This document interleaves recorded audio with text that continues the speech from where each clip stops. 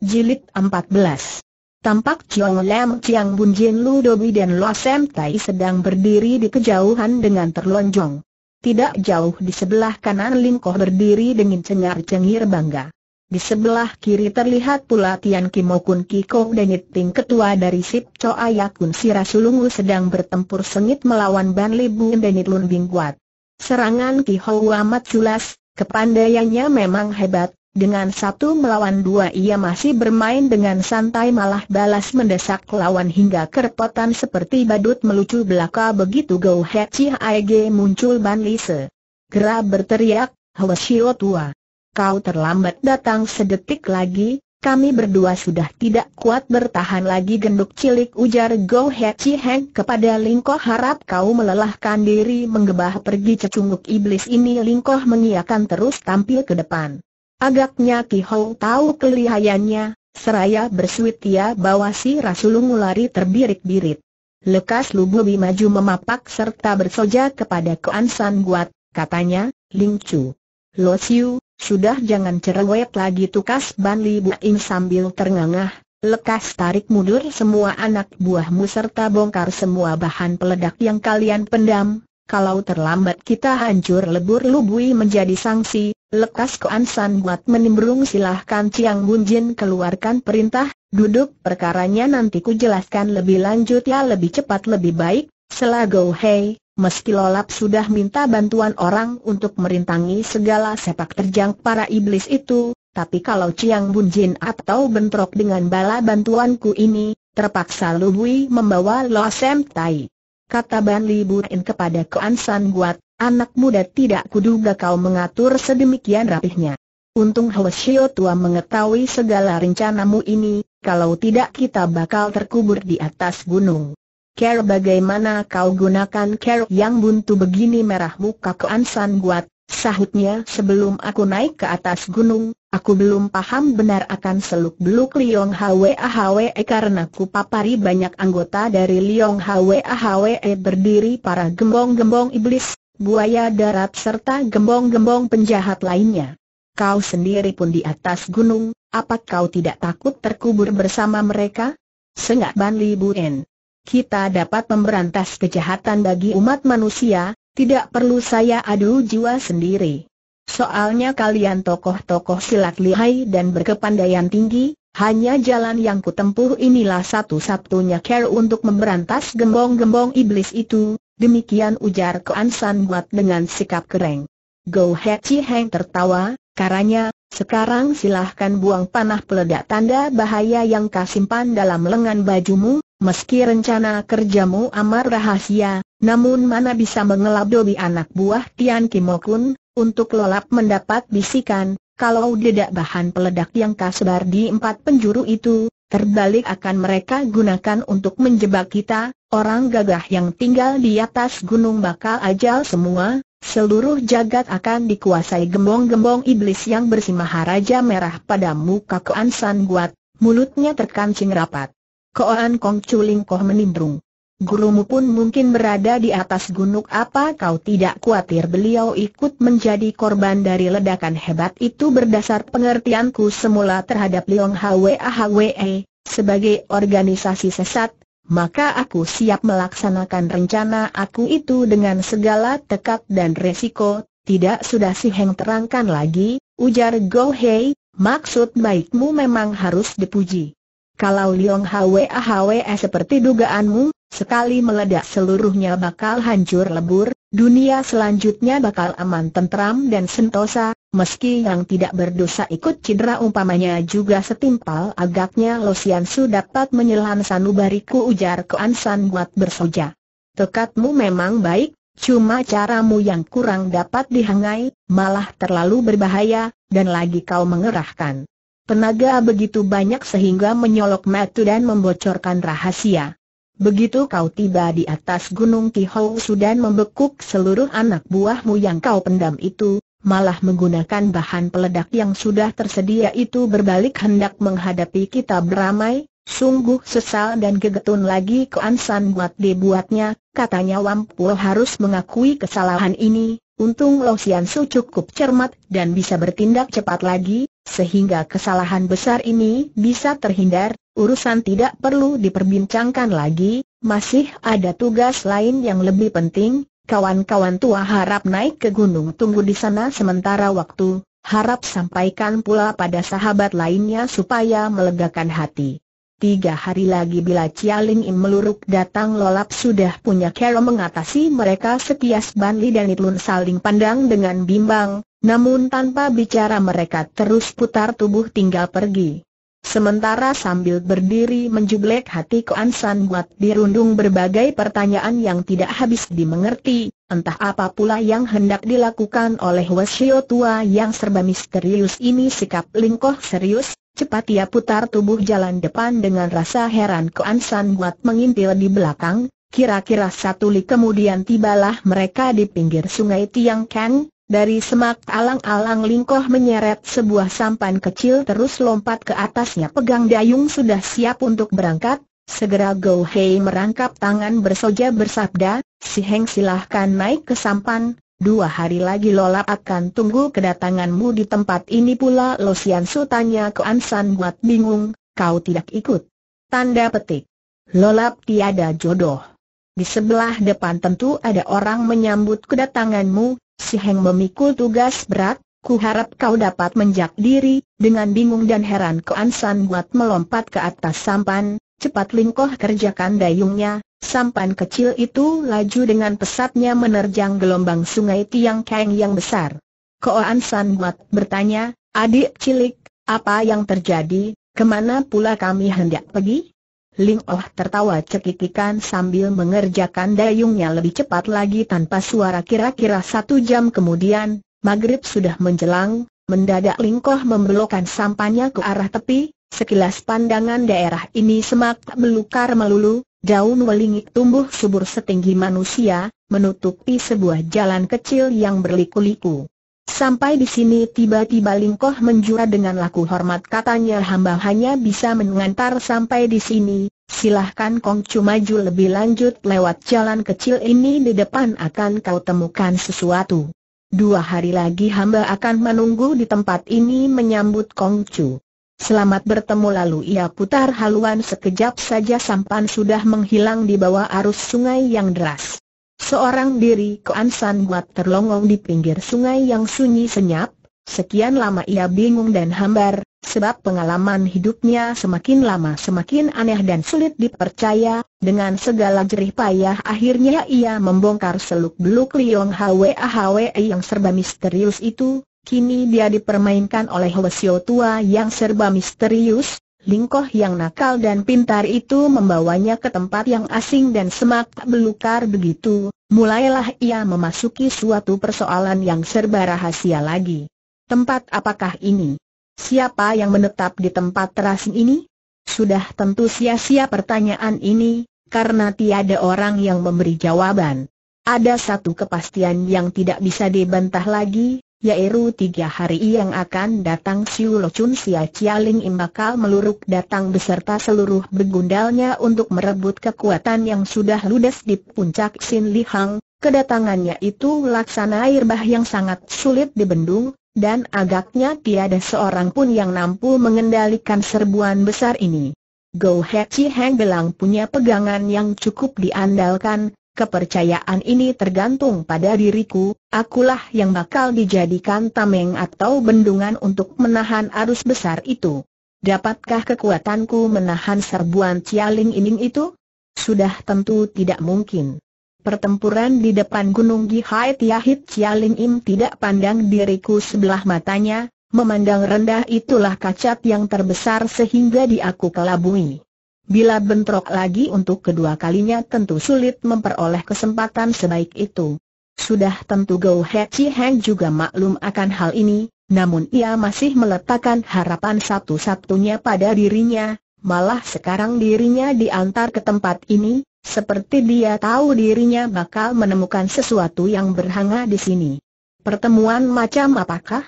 Siapa pun tidak akan mungkin, dalam jangka tiga hari menggembleng diriku berlipat ganda, mencapai setingkat atau unggul dari Ciling Im, Meski hatinya diundung berbagai pertanyaan yang sulit dijawab, namun kakinya tidak berhenti melangkah, menyusuri jalan kecil yang sudah belukar itu ia terus maju ke depan menyibak pohon yang tumbuh subur. Jalan kecil ini benar-benar sudah belukar, agaknya hutan ini sudah lama tidak diinjak manusia, beberapa kali ia kesasar, keadaan memang seperti sebuah jalanan, namun setelah Diselusuri baru, dia tahu jalan itu menuju ke lubang binatang kecil, seperti kelinci atau musang yang kaget dan lari seraburan menyembunyikan diri. Terpaksa ia kembali ke tempat semula mulai lagi mencari jalan yang tepat. Malah setelah pulang pergi bolak-balik ia menyadari akan kesalahannya, sebab setiap kali ia menuju ke jalanan yang salah dihadapinya lantas dihadang gumpulan kabut tebal dan tidak mungkin maju lebih lanjut. Lambat laun ia baru menyadari bahwa semak belukar yang dihadapi ini bukan semak belukar biasa, jelas di dalam semak belukar ini diatur semacam barisan yang dapat menyesatkan pandangan orang. Di antara sekian banyak jalan-jalan itu hanya satu yang benar, jalan lurus yang benar ini baru ia dapat melepas pandangannya yang terang benderang dan melalui jalan lurus yang benar ini pula dia bisa tiba di satu tempat. Karena ia menginsafi akan kelihayan barisan itu, maka setiap kali ia masuk ke jalan sesat dan sebelum terlanjut lekas mundur balik ke tempat semula sehingga ia tidak terjebak dan mati kutu di tengah barisan. Setelah mengalami kesalahan langkah berulang kali, lama-kelamaan tersimpul oleh keansan buat care pemecahannya, teraba olehnya sebuah jalan yang tepat untuk mengatasi segala kesesatan itu.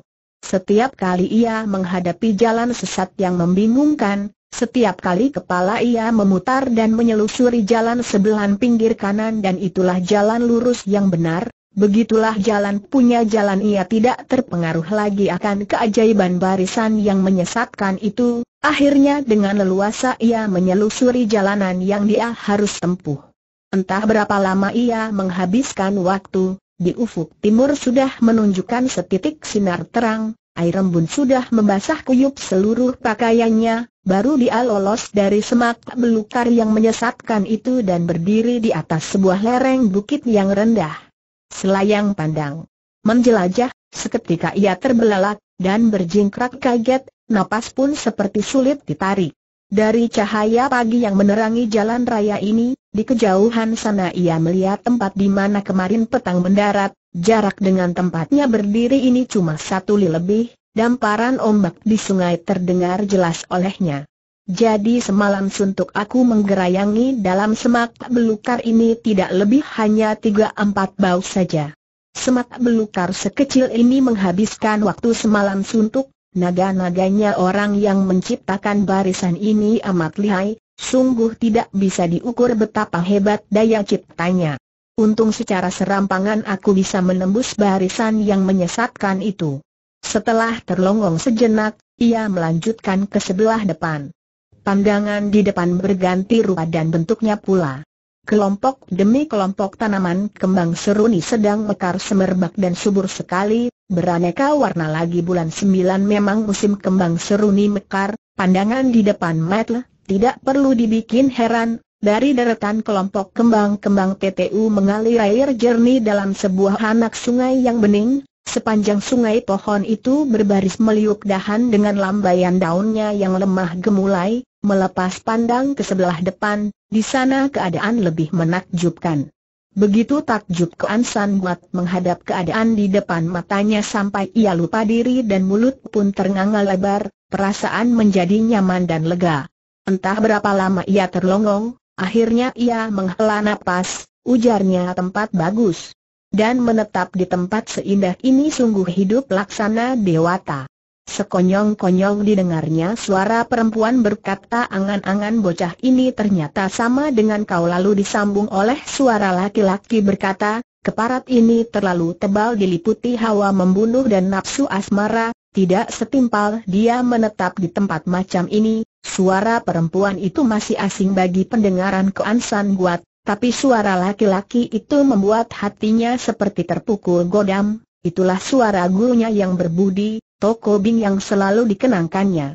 Sambil berlinang air mata, suara keansan buat gemetar, teriaknya, Suhu, di manakah kau? Percakapan mereka kedengarannya dekat, ke mana Koan San Buat sudah mencari ubek-ubekan tidak menemukan jejak atau bayangannya, saking gugup ia terus berlutut dan berseru sambil sesenggukan, Suhu Tecu kangen benar terhadap kau orang tua, mengapa tidak memberi kesempatan bagi Tecu untuk menghadap padamu? Cukup lama ia menangis, namun sekelilingnya masih sepi. Entah berapa lama kemudian akhirnya terdengar pula suara perempuan itu berkata, sudah jangan kau permainkan dia, lihat betapa kasihannya biarkan saja terdengar sahutan Toko Bing, bocah itu perlu diajar adat kalau tidak siapa kelak yang mampu mengendalikan dia, kau tidak perlu banyak mulut. Perangaimu dulu lebih jelek dari dia, hanya selama dia dapat memecahkan Ganto Amitin, ini bukti bahwa dia lebih kuat dari kau. Dan lagi dia sudah letih semalaman, lahir dan batin sudah diperas habis-habisan, kalau terlambat istirahat bila diserang penyakit tentu runyam akibatnya. Hyang Tingka selalu tergesa-gesa, coba lihat hatimu masih kamaruk kerinduan duniawi halangan besar yang harus kita hadapi. Kuduga sulit ditembus kalau memang sudah dekat tentu segera dapat kita hadapi, aku sendiri sudah jemu dan pasrah nasib saja. Seiring dengan perkataan ini, pandangan Koan San buat seperti kabur, di atas batu di pinggir kali sebelah sana entah kapan tahu-tahu duduk dua orang dengan angkernya yang perempuan cantik rupawan laksana bidadari, laki-lakinya keren dan gagah seperti tersipu-sipu Koan San buat memburu maju menjatuhkan diri berlutut, serunya haru suhu, mendadak pandangan mata menjadi gelap hampir saja ia jatuh semaput. Cepat perempuan itu mengebaskan lengan bajunya mengangkat pundaknya, katanya tertawa nak, jangan hanyut oleh perasaan, tuntun hawa muri ke dalam pusar, terasa oleh keansan buat kebasan lengan baju orang mengandung tenaga kuat yang menahan gejolak hawa dalam dadanya, cepat ia menggiring tenaga dari luar yang merembes masuk terus berputar sehaluan di seluruh badan, akhirnya kembali ke dalam pusat, Sekuat tenaga ia mengendalikan perasaan hatinya hingga tenang kembali. Pelan-pelan Toko Bing berdiri, ujarnya Hiang Ting, kau tergesa-gesa lagi wekang harus dilatih secara tekun dan makan waktu, hasil yang diperoleh tanpa bekerja ini, hanya akan mencelakakan dia belaka, banyak sekali persoalan yang harus kuminta bantuannya. Sudah kau tidak usah turut campur melihat guru sehat walafiat tidak kurang suatu apa, gagah serta jauh lebih matang, sungguh hati Koan San buat girang bukan main, baru saja ia hendak buka mulut, didengarnya Toko Bing sudah membentak dengan ketus, binatang. Lim, Sian Chu sudah menganugerahi bekal kepadamu, masih kau melantur ke mana lagi? Tercekat hati Koan San buat, lekas ya hilangkan pikiran tetek bengek, memusatkan semangat serta menyalurkan hawa digabung dengan tenaga lunak yang merembes dari luar, Kejap lain, terasa segulung hawa hangat mengulung-ulung menyusup ke segala badan dan urat nadinya, perasaan hati pun terasa sangat segar dan sejuk, tidak lama kemudian tiba-tiba Toko Bing mengulur sebelah tangannya mendorong lengan baju yang menempel di pundak Koan San Guat, katanya, sudah cukup. Kalau dilanjutkan apa kau tidak suka hidup lagi perempuan itu menarik lengan bajunya, mukanya lesu seperti keletihan, Katanya menghela apas pelan-pelan, kau memang suka ngaku sendiri? Dengan badan segar dan semangat bergairah lekas Koan San buat menyembah kepada gurunya, sapanya, suhu. Tecu, dengan sikap kering Toko Bing berkata tak perlu banyak adat lagi, ucapkan terima kasih kepada Sian Chu, untuk kau dia sudah mengeluarkan pengorbanan besar Koan San buat menggeser badannya menyembah pula kepada perempuan itu, lekas perempuan itu memapahnya bangun seraya berkata tertawa, sudah, sudah. Lekas bangun, jangan kau hiraukan ucapan gurumu tapi Koan San buat menyembah sekali baru bangkit berdiri, perempuan itu berkata tersenyum nak. Kau lebih baik dari apa yang pernah kami bayangkan. Mari duduk di sini, Kukira kau sudah tahu siapa aku ini bukan Koan San buat menyahut sambil soja, Tetsu sudah dengar cerita Li Sian Chu, kau adalah. Aku adalah Lim Hiang Ting tukasnya perempuan itu tersenyum, perkelahianmu melawan Cialing Im benar-benar mengagumkan ilmu sadar serta kepandaian otak sama bagusnya maka segera aku membantu, Koan San buat unjuk rasa bingung dan tak mengerti. Lekas Ling Hiang Ting menjelaskan tidak tahu.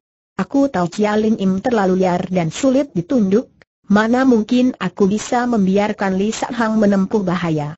Untunglah kesulitan itu dapat kau tanggulangi dengan baik sehingga kami tak perlu unjukkan diri, baru sekarang Kuan San kuat paham namun masih ada setitik persoalan yang belum dia ketahui yaitu bahwa bantuan Lim Hiang Ting terhadap dirinya sendiri tadi kelihatannya dia begitu letih, malah menurut gurunya dia sudah berkorban besar bagi dirinya entah. Agaknya Toko Bing cepat meraba jalan pikirannya ini, dengan sikap garang ia berkata Lim Sian Chu menggunakan Sin Kang, menyalurkan tenaga dalam yang dilatih selama 20 tahun ke dalam tubuhmu, dengan rasa haru lekas Koan San buat berkata, terima kasih Sian Chu, begitu baik kau menyempurnakan diriku, ai, jangan sungkan, tindakanku ini ada maksudnya lo.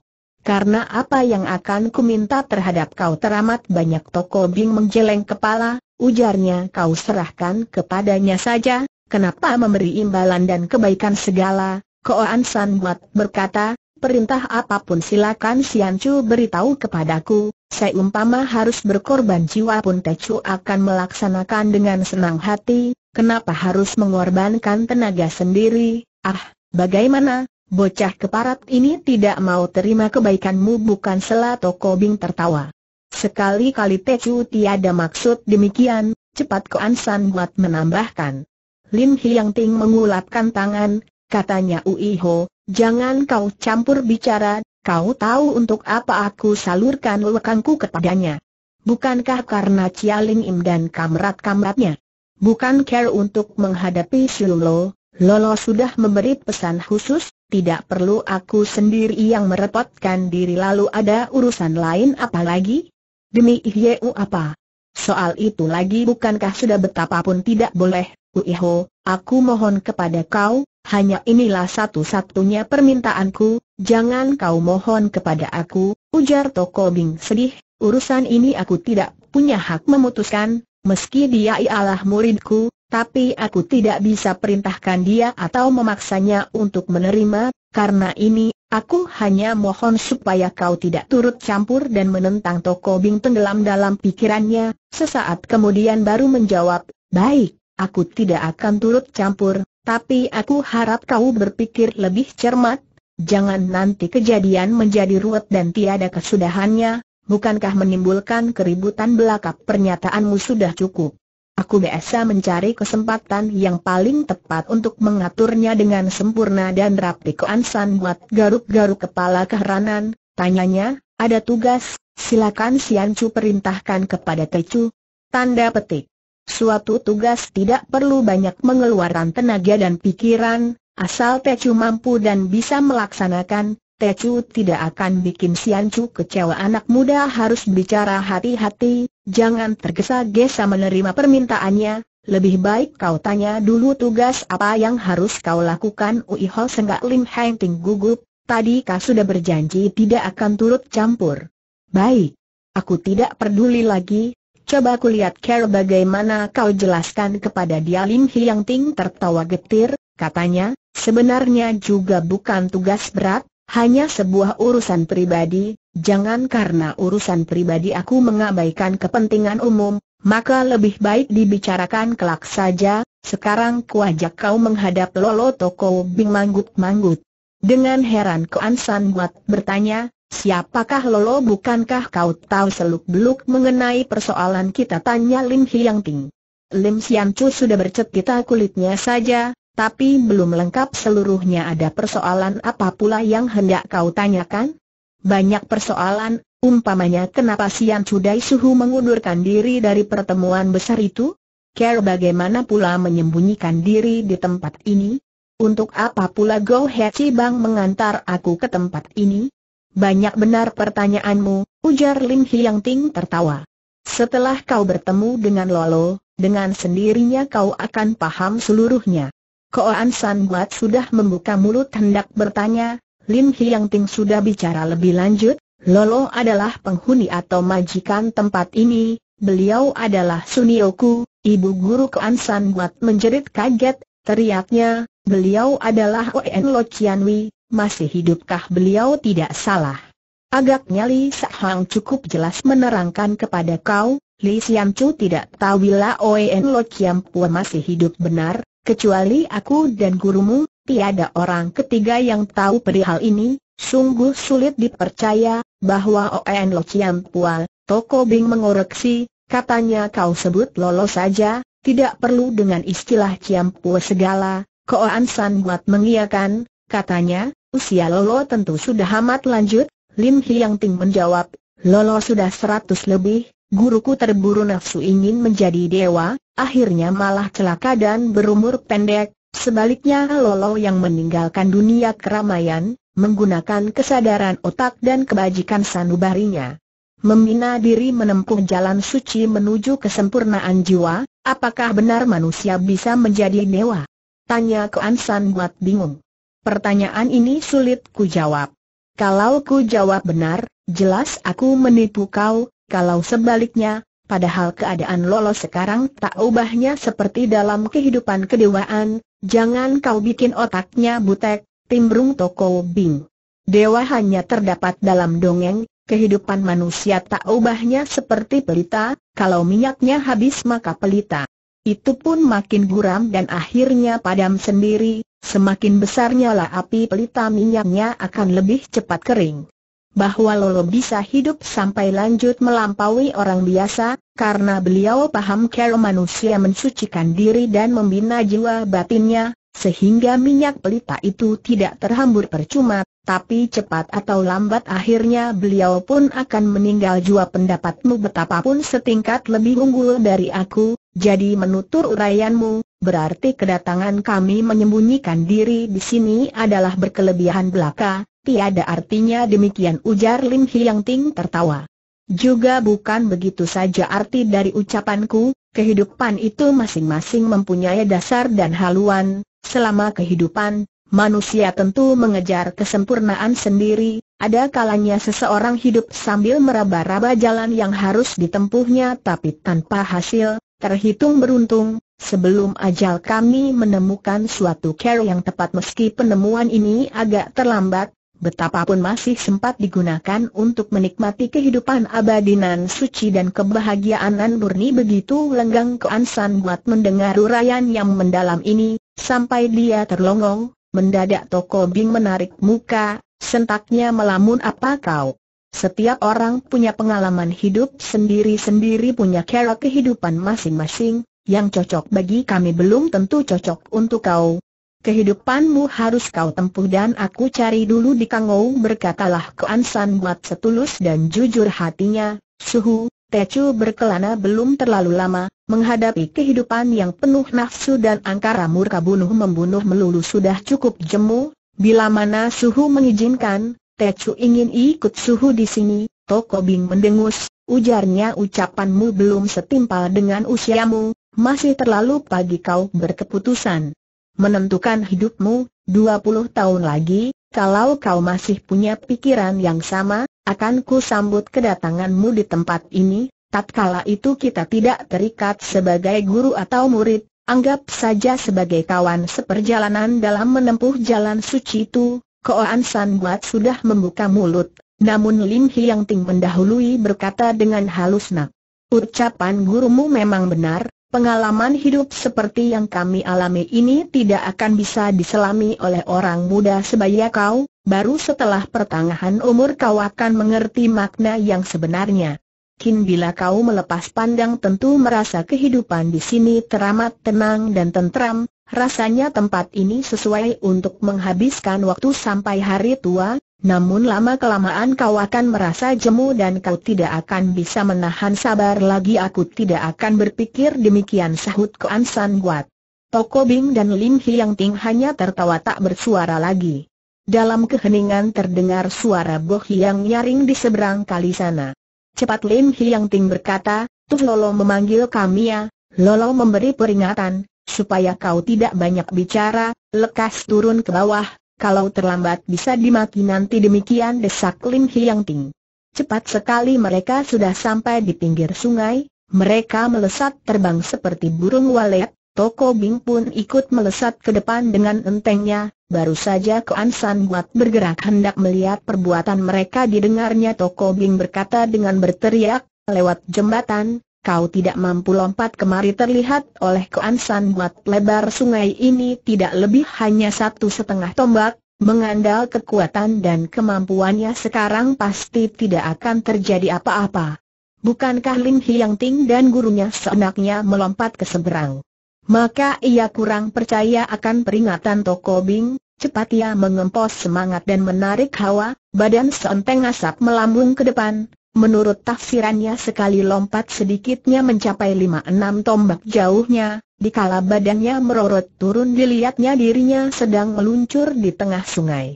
Di saat tubuhnya hampir kecebur ke dalam sungai itulah cepat dia menggentak kedua lengannya serta mengganti napas dua kali, sehingga tubuhnya melejit mumbul kembali satu tombak, sekuat tenaga ia berusaha meluncur ke depan pula, luncuran kedua ini mencapai dua tiga tombak lagi, namun di mana kakinya meluncur tempat berpijaknya masih merupakan sungai yang mengalirkan air bening.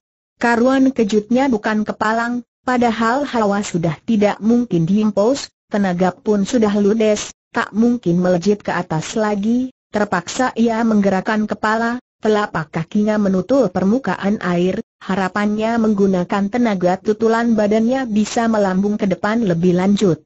Tapi begitu kakinya menyentuh air, tempat yang dipijak ternyata seperti kosong tak bisa buat menggentakkan tenaga, karuan badannya amblas ke bawah, kakinya sudah basah oleh dinginnya air sungai, jelas bahwa kakinya sudah menyentuh air, baru sekarang hatinya menjadi gugup, secara refleks kedua tangannya berhasil meraih sebuah benda besar cepat ia kerahkan tenaga terus mengangkat badannya ke atas, waktu ia melepas pandang, Hampir ia tidak percaya akan kenyataan ini, entah kapan tahu-tahu di hadapannya dihadang sebuah jembatan panjang, sementara kedua tangannya berpegangan kencang pada tonggak di atas jembatan itu, dikala ia memanjat naik dan berdiri di atas jembatan baru ia melihat bahwa kedua kakinya sudah basah. Maka dapat dipastikan bahwa kakinya sebenarnya sudah masuk air, tapi kenapa air sungai ini tidak mengandung daya mengembang? Bagaimana pula cara jembatan ini muncul secara mendadak di hadapannya? Tadi sama sekali aku tidak melihat adanya jembatan ini. Akhirnya ia pun berpikir dengan tidak habis mengerti sungai kecil yang lebarnya cuma satu tumbak ini, kenapa aku tidak mampu melompatinya. Meski hatinya dirundung berbagai pertanyaan, tapi Toko Bing dan Lim Hiang Ting berpeluk tangan sedang mengawasi dirinya dengan tersenyum-senyum, Terpaksa mereka menundukkan kepala ia terbang menghampiri dengan beberapa kali lompat dari jembatan.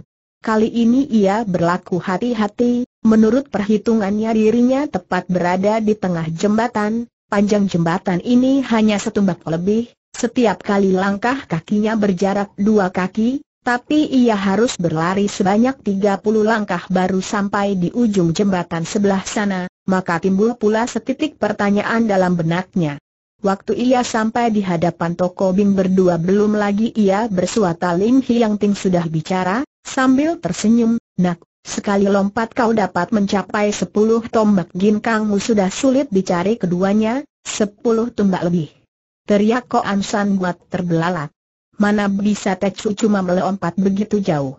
Kata Toko Bing, sudah sepuluh tahun dia belajar, dasarnya cukup kuat untuk melompat enam tujuh tumbak, setelah kau tambah dengan salura luwekang selama 20 tabun, lompat sepuluhan tumbak tidak perlu dibuat heran, semakin lebar mata Kuan San buat memandang.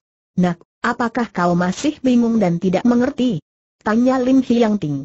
Benar sahut Kuan San buat mengangguk, Tecu dirundung banyak pertanyaan seolah-olah aku hidup dalam impian, bukan nak, bukan dalam impian, Seharusnya kau cukup bangga akan dirimu menurut perhitunganku, lompatmu pertama kira-kira mencapai 12 tumbak, waktu badanmu melambung tinggi untuk kedua kalinya kira-kira melesat pula 4-5 tumbak, di seluruh kolong langit ini, hanya beberapa orang yang dapat menyamai hasil latihan ginkangmu ini. Kaget dan heran pula keansan buat dibuatnya, Lalu berapa lebar sungai itu? 40 tombak sahut Lim Hiang Ting tersenyum.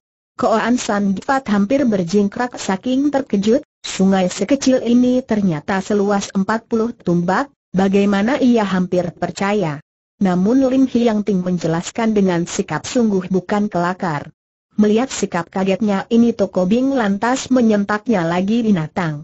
Dulu banyak kuajar berbagai kepandaian dan pengertian kepada kau. Kenapa kau lupa sama sekali sebentar keansan buat berpikir, tiba-tiba ia berteriak kejut apakah ini yang dinamakan Siok Tesut, ilmu mengkeretkan bumi, di dunta ini mana ada Siok Tesut, jengek Toko Bing tiada dianggap ada tidak perlu dipercaya, seperti sesuatu kenyataan yang dihayalkan sama saja brutalnya, Koan San buat menjublek, nak Ujar Lim Hiang Ting, agaknya kau makin bingung akan urayan gurumu, mengkeretkan bumi menjadi pendek adalah tidak mungkin, yang kau hadapi sekarang ini adalah semacam barisan yang mengelabui pandangan matamu sehingga kau melihat yang panjang menjadi pendek, demikianlah analisa kenyataan ini.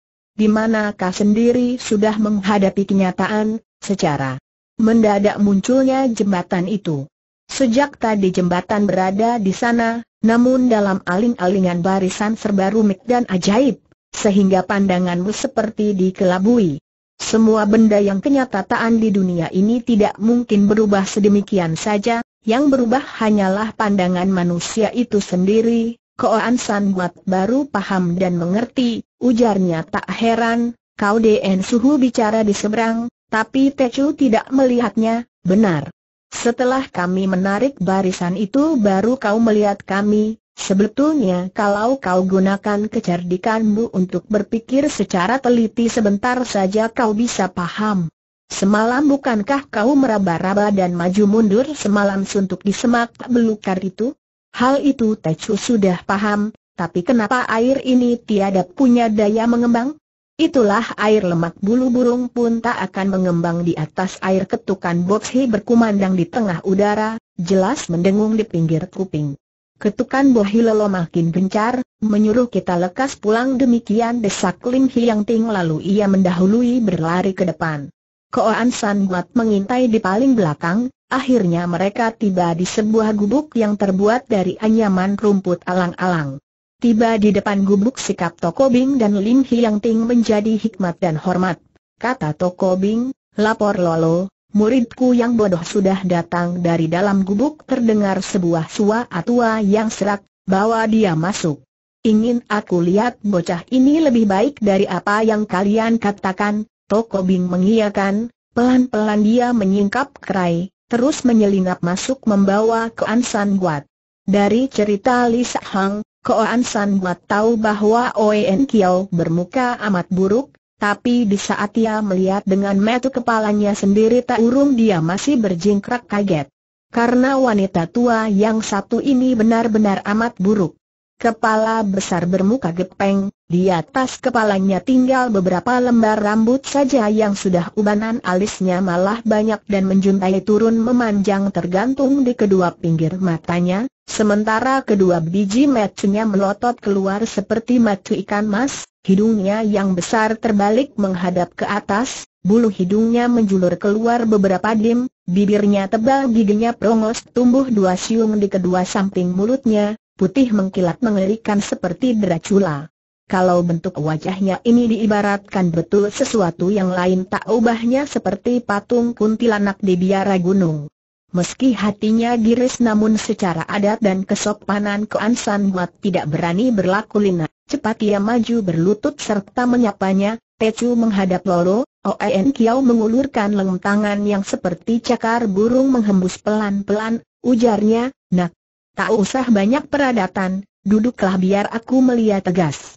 Hiang Ting, Toko Bing kalian pun jangan berdiri saja, mari duduk sekalian.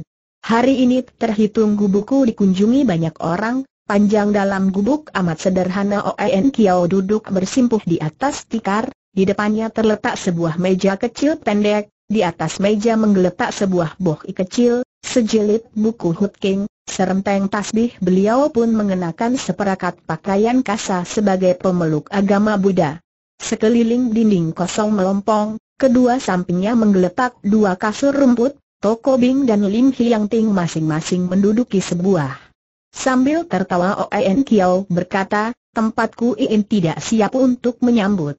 Tamu lain, maka terpaksa kau duduk saja di atas lantai. Untung tempatku ini cukup kering, cepat Koan San buat tidak menjadi soal di mana saja Tecu boleh duduk. Sementara itu Lim Hianting dan Toko Bing sama bersimpuh, maka Koan San buat segera duduk bersila, tapi ia tidak bisa menerima kata-kata kering yang dikatakan oleh tuan rumah, karena di mana tanah ia duduk lembab dan dingin, sungguh risih dan tak enak bagi perasaannya dan perubahan air muka Koan San buat agaknya Oen Kiao bisa menebak isi hatinya katanya tertawa mengunjuk gigi yang perongos nak apakah kau tidak merasa bentukku ini amat menakutkan?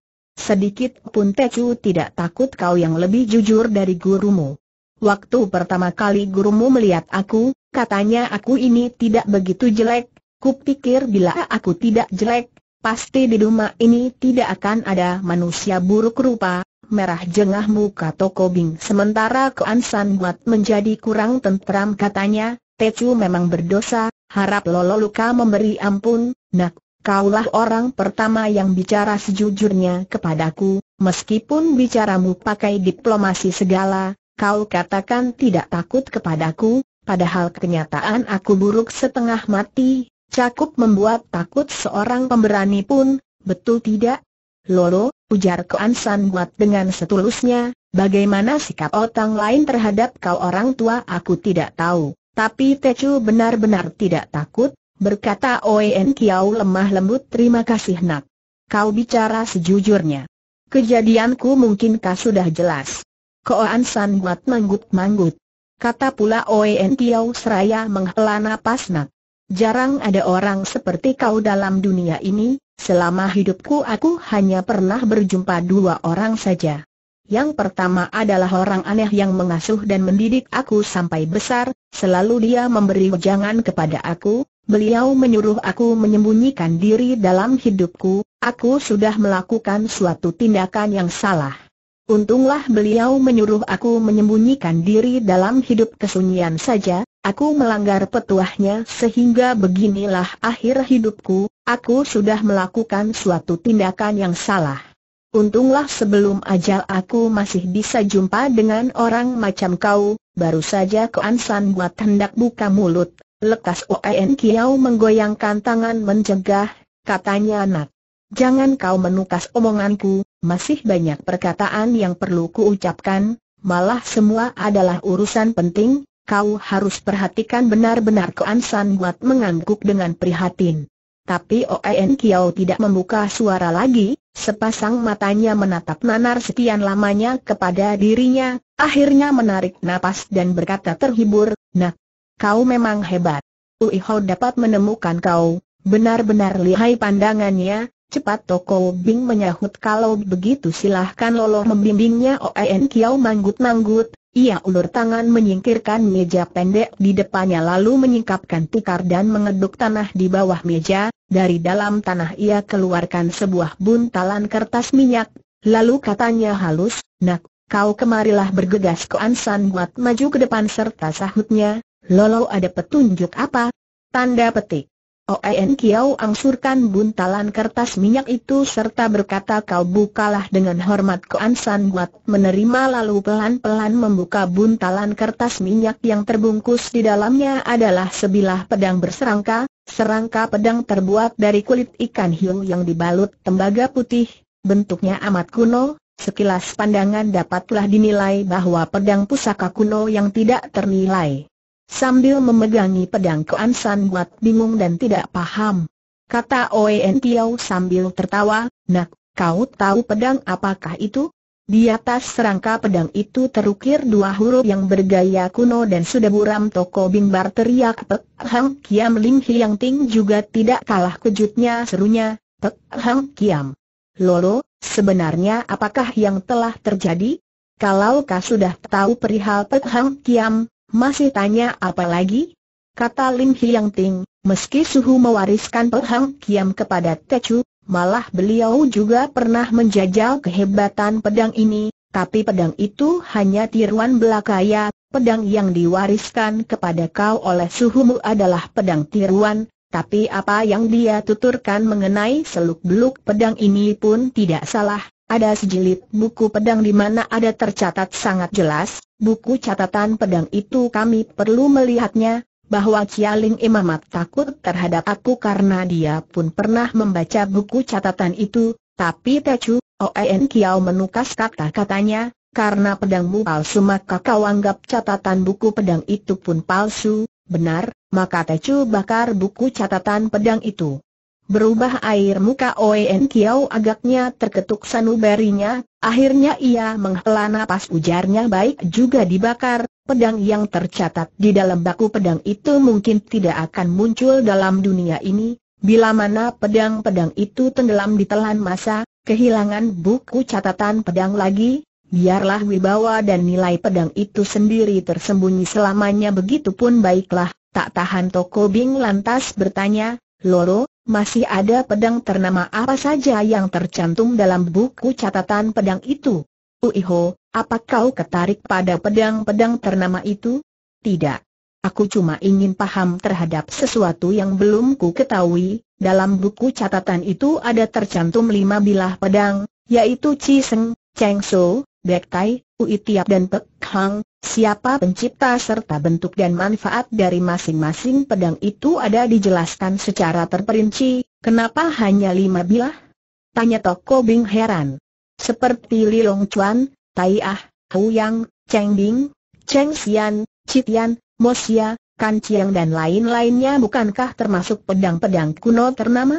Benar pedang-pedang itu memang amat benar, tapi pedang-pedang itu hanya lebih tajam dan kuat dari pedang-pedang biasa, kecuali dapat memotong besi seperti mengiris sayur, tiada kemujijatan lainnya, jauh berlainan dengan lima pedang yang ku sebutkan tadi, tiga orang menaruh perhatian dan mendengarkan dengan cermat, tapi Oen Kiau malah menghela napas, katanya, sudahlah, pedang lain kita tidak perlu persoalkan, karena aku sendiri tidak tahu apakah yang lain itu kenyataan seperti yang tertera dalam keterangan buku itu. Tapi Pek Hang Tiam ini sesuai dengan apa yang tercesuat di dalam buku keterangan pedang itu. Dari sini dapatlah dipastikan bahwa keterangan terperinci mengenai kelima bilah pedang itu tentu bukan bualan belaka, demikian selaling Hiang Ting. Oen Kiau meliriknya sekali. Lekas Ling Hiang Ting menambahkan, Loro, Bukan Tecu suka mengobrol, buku catatan pedang itu kami berlima pernah membacanya, Tecu memang berotak tumpul kini tidak begini ingat lagi keterangan yang tercatat dalam buku itu tapi Cialing Im mempunyai kepandaian yang lain dari yang lain, apa yang pernah dilihatnya tentu tidak akan terlupakan olehnya, kau khawatir bila dia memperoleh salah satu di antara kelima pedang itu. Tidak bisa Tecu harus mengkhawatirkan hal ini. Karena sesuai dengan apa yang tercatat di dalam buku itu, Pek Hang Kiam ini, wibawa dan ketajaman Pek Hang Kiam tidak lebih unggul dari empat bilah pedang yang lain, maka namanya tercantum pada urutan terakhir. Namun kau tidak usah khawatir, pasti Chialing Im tidak bakal memperoleh pedang yang lain Lin Hiang Ting tidak mengerti. Maka Oen Kiao menjelaskan sudah lama gurumu memeras otak tapi hasilnya nihil, Terpaksa ia membuat sebilah pedang tiruan yang diberikan kepadamu itu, Pek Hang Kiam adalah yang terakhir dari kelima pedang itu, kenapa gurumu memilih pedang ini? Tecu bodoh, Tecu tidak tahu sahut Lim Hiang Ting Tecu sebaliknya bisa menerka, entah betul atau tidak ucap Koan San buat coba kau terangkan ujar En Kiao tersenyum. Berpikir sebentar Koan San buat lantas menjelaskan, Menurut apa yang diuraikan Lolo bahwa ketajaman sinar perhang kiam paling menonjol di antara kelima pedang pusaka itu sekilas pandang orang akan tahu bahwa itulah sebilah pedang pusaka, karena itulah sehingga dia masih tetap patuh sampai sekarang, empat bilah yang lain meski kualitasnya lebih bagus namun luarnya tidak begitu menonjol, kalau terjatuh ke tangan seorang yang tidak kenal nilai barang, tentu akan dibuat memotong kayu atau sebangsa senjata tajam umumnya. Ling Im adalah seorang yang cerdik, untuk mengelabungi dia, terpaksa harus membuat tiruan Pek Hang Kiam, paling tepat, wah hebat kau bocah ini. Pendapatmu ini benar-benar melebihi pandangan seorang ahli, Ui Oh menurut pendapatku dia lebih kuat dari kau. Benar maka ku bawa dia kemari untuk menemui orang tua, ONQ mengandung pandangan welas asih, katanya pelan-pelan, nak. Sebetulnya masih ada sebuah lain kenapa Pek Liputing harus menirukan sebilah pedang Pek Hang Kiam yaitu karena dia tahu bahwa Pek Hang Kiam yang asli berada di tanganku, dia pun pernah merasakan bahwa dan pedang pusaka itu, dulu waktu ia bertekad mencelakai jiwaku menggunakan pedang itu baru aku menundukkan dia, Mengingat hubungan kami suami istri aku tidak bertindak kejam kepadanya, tapi beberapa tahun ini aku mengasingkan diri di tempat ini, secara diam-diam aku selalu mengawasi sepak terjang ayah yang tidak genah itu, timbul perasaan acuh tak acuh pada muka Koa San Guat. Melihat sikapnya ini Oen Kiao tertawa, katanya mungkin kau tidak puas akan tindakanku bukan? Terpaksa Koan San Guat manggut-manggut, katanya, Benar. Kau tidak perlu kasihan dan memberi hukuman setimpal bagi perbuatannya. Benar, nak. Ucapanmu memang benar demikian ujar Roen Kiao, tapi masih berliku-liku dalam persoalan ini yang tidak kau pahami, ilmu yang dipelajari pekeliput ling meski didapati dari aku, tapi semua ilmu pelajaran itu adalah peninggalan.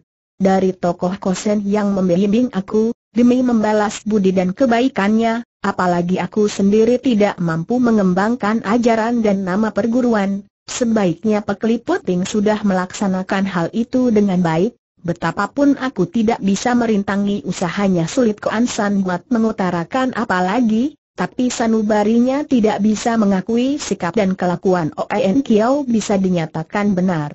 Berkata pula Oen Kiao sembari menghela napas apalagi perbuatan Pekliput Yok tidak begitu jahat, karena ajaran yang ditinggalkan oleh tokoh kosin aneh sendiri pun termasuk aliran sesat, perguruan kita sama, ajaran yang kita pelajari pun sealiran, sudah tentu secara lahir batin aku tidak merasakan bahwa apa yang dipelajari itu merupakan ilmu sesat cepat Koan buat menyela, ya, sesat atau lurus biar umum yang memberi penilaian, orang yang pernah kutemui teramat sedikit.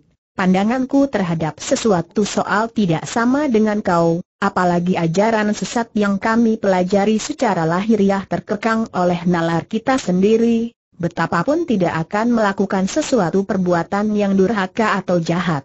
Begitulah tokoh kosen aneh itu, demikian juga aku, Pekeliput Ping pun tidak ketinggalan yang paling ditakuti hanyalah bila ilmu ini terjatuh pada seseorang yang benar-benar culas dan jahat 100%, kekangan nalar terhadap perbuatannya dengan sendirinya tak akan membawa hasil lagi Cialing Im adalah orang macam itu, kata Koan San buat menyambung.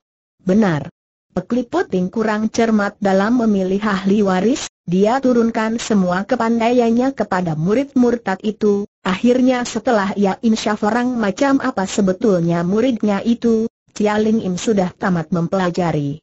Ilmu yang ia turunkan, tidak mampu lagi untuk mengekangnya, Ciampu membawa Pek Hang Kiam seharusnya bisa mencegah hal ini terjadi aku tidak mampu, latihanku jauh dibandingkan Pek Liputing. Pek Hang Kiam meski berada di tanganku, aku tidak kuasa menggunakannya, Koan San buat mengunjuk rasa tidak percaya. ONQ lantas melanjutkannya dengan sikap serius, aku tidak membual, bukan saja aku tidak mampu, Hiang Ting pun tidak becus ilmu yang kita latih hanya berguna bagi laki-laki kekar yang kuat. Cialing Im paham akan intisari tersembunyi ini, kalau dia tidak gentar adanya Pek Hang Kiam yang hebat, sejak lama ia sudah mengumbar kejahatannya. Hanya Hiang Ting seorang yang jelas mengenai seluk-beluk ini, cuma sifatnya lebih tenang dan mantap sehingga selama itu tidak pernah menunjukkan gejala-gejala yang mencurigakan. Maka Cialing Im dikelabui, tapi kertas tidak bisa membungkus api, urusan akan tiba saatnya dibongkar orang, maka dia sangat khawatir akan hal ini, akhirnya ia mencari suhumu, pikirnya hendak minta bantuan untuk menghadapi Cialing Im, tapi suhumu sendiri memandang rendah ilmu yang kita pelajari, Agaknya lolos salah paham, demikian tukas Toko Bing, bukan aku memandang rendah kalian, adalah karena kan Tian Chin KHI yang kulatih jauh berlawanan dengan ajaran kalian, kalau dipaksakan tentu akibatnya sangat fatal aku tahu akan teori ini. Maka aku tidak paksa kepada kau, demikian jawab Oen Kiao tertawa. Syukurlah bila Lolo paham, dan lagi aku menerima muridku ini bukankah sama saja demikian ujar Toko Bing tertawa.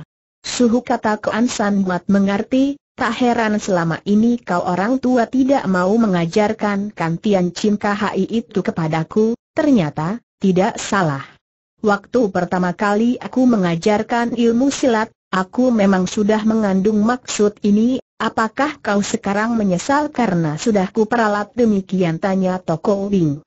Koan San buat termenung sebentar lalu berkata dengan sungguh, Tecu menerima budi guru setinggi gunung sedalam lautan, Mana berani punya maksud dan prasangka demikian, hanya, hanya apa? Desak Toko Bing tersenyum. Seharusnya jauh-jauh hari suhu beritahu aku, supaya Tecu punya persiapan, waktu itu aku sudah menjadi anggota Liong Hwa Hwe, sebagai anggota terkekang dan harus patuh akan segala aturan-aturan yang ada, sudah tentu aku tidak bisa beritahu kepada kau. Chia Ling Im menyebar luar kaki tangannya ke segala penjuru, mata kupingnya amat tajam, kalau sampai diketahui olehnya menggunakan undang-undang kedisiplinan organisasi untuk menindak diriku, bukankah bakal mengagalkan usaha belaka? Tapi untuk memandang kau masuk ke dalam organisasi memang banyak mengorbankan jerih payahku, malah sengaja aku menandingi berbagai golongan dan aliran besar kecil di seluruh jagat, Kuciptakan keagungan Binto Lingcu yang dirjaya menggetarkan dunia sebagai warisanku kepada kau, tujuanku adalah supaya kau ternama dan disegani, pasti datang suatu ketika ada seseorang bakal menarik kau menjadi anggota Liong Hwa Hwe pula, Koan San buat manggut-manggut, tanyanya, putra Tian Kimokun Ki Hou juga membuat Hwi Toling, tujuannya adalah menandingi Bing Toling Chu. Aku tahu, Malah itu usul Go He Chi Heng si gila itu kenapa belenggu yang mengikat seluruh anggota teramat banyak, betapa sulitnya untuk menarikmu masuk tanpa menunjukkan sesuatu gejala yang mencurigakan, maka kepala gundul itu memikirkan suatu akal yang cukup sempurna, secara gosok dan bujuk ia anjurkan Ki Hou menampilkan diri menjadi penantang yang utama, menggunakan Ki Hou sebagai umpan lalu menarikmu menjadi anggota tentu tidak menimbulkan curiga orang lain.